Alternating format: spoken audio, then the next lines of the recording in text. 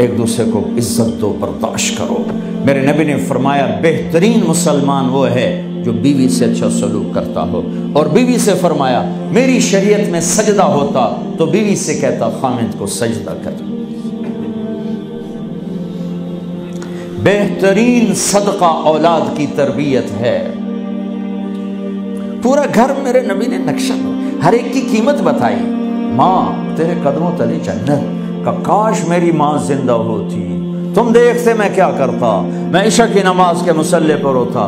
मैं सूरत फातिहा पढ़ रहा था इधर से आवाज़ आती मेरी माँ की, मोहम्मद तो मैं नमाज़ तोड़ के कहता लबई कम्मा जान।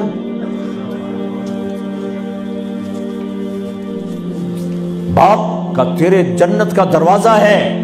बाप तेरी जन्नत का दरवाज़ा है। खोलना, तोड़ना नहीं। खोलना, तोड़ना नहीं। तोड़ दिया तो जन्नत में ना जा सकोगे। सबसे बेहतरीन मुसलमान जो बीवी से अच्छा सलूक सबसे बेहतरीन औरत जो अपने खामिंद की मंशा को देखे। फिर आपने एक अजब बात फरमाई जो मुआशरे में बहुत बोझ बनता है जिसका। हाँ भाई। तुम्हें ऐसा सदका बताऊँ जिससे बढ़ के कोई सदका नहीं। तुम्हें ऐसा सदका बताऊँ जिससे बढ़ के कोई सदका नहीं। उन्होंने कहा, जी क्या? का अलिबनतुल मरदूदा, जिसकी बेटी को तलाक हो गई, या बेवा हो गई, और घर वापस आ गई माँ बाप के। या माँ बाप नहीं है तो भाई हैं। वो एक बोझ बनती है। माँ बाप पर भी और भाई तो वैसे ही बागी हो जाते हैं। मेरे नबी ने फरमाया, इस बच्ची पे खर्च करना कायनात का सबसे अफजल सदका है। घर, एक घर कैसे चलता है? हमारे यहाँ पंजाब, सिंध, बलूचिस्तान, सरहद में बहनों को वरासत में कोई हिस्सा नहीं मिलता। सब भाई खा जाते हैं।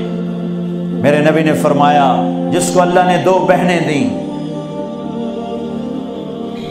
उसने उनका हक अदा किया, शादी की हक अदा किया।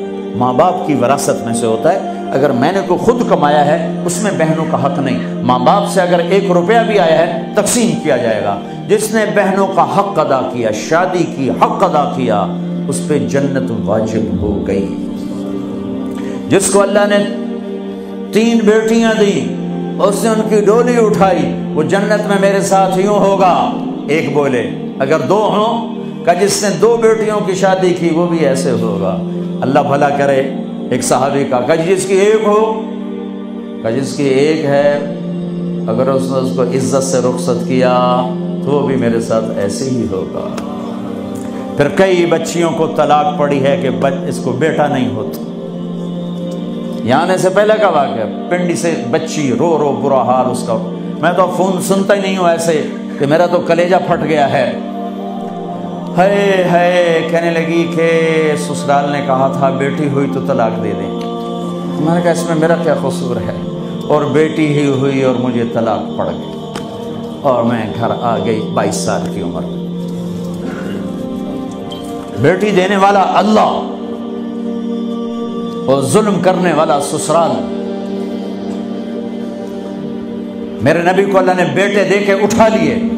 कासिम, उठा लिए, अब्दुल्ला उठा लिए, इब्राहिम उठा लिए। चार बेटियाँ दी तीन ज़िंदगी में उठा ली जैनब उम रुकैया, तीनों आँखों के सामने चली गई। फातिमा से नस्ल चली। आपने फरमाया, लोगों की नस्ल बेटे से चलती है, मेरी नस्ल मेरी बेटी फातिमा से चली।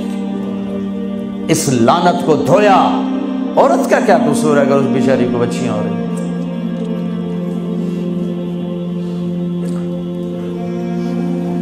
जिसने अपनी बहनों को हक अदा किया, जिसने बेटियों को डोले में बिठाया, उनका हक अदा किया, का जन्नत में यूँ हो जाएगा।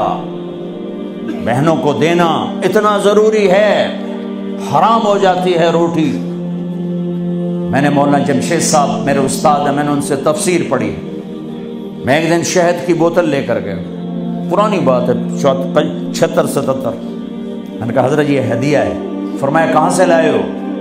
कहीं मेरे अपने बाप है। फरमाया, तेरे बाप ने अपनी बहनों को, तेरे बाप ने अपनी बहन, यानी मेरी फूफियों को, तेरे बाप ने अपनी बहनों को ज़मीन में से हिस्सा दिया था।